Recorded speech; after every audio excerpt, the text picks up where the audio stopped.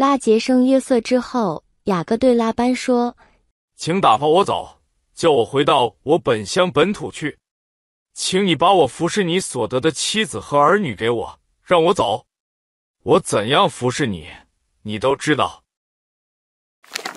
亲爱的弟兄姐妹，雅各虽然生性狡猾，但在工作上非常认真勤奋。他能在寄人篱下的处境中。坚忍二十年，默默忠诚的服侍拉班，为什么？雅各是为目标导向的人，他为了拉结，愿意服侍拉班七年之久。圣经说，因为深爱拉结，就看这七年如同几天。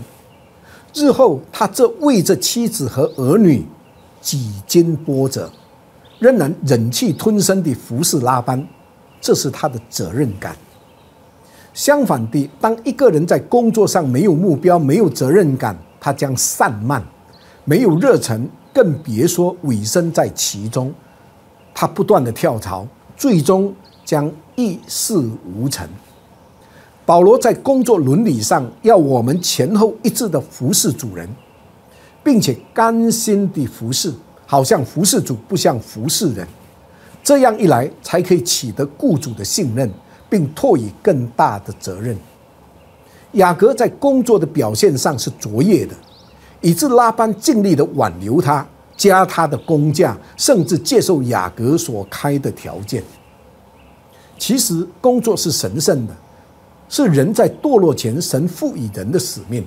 工作使世界变得更美丽，成为美好的家园。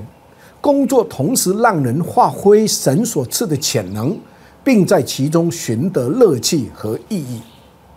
我们今日工作的目的将决定我们工作的态度，因此，让我们谨记，工作其实是我们另一种侍奉神的途径。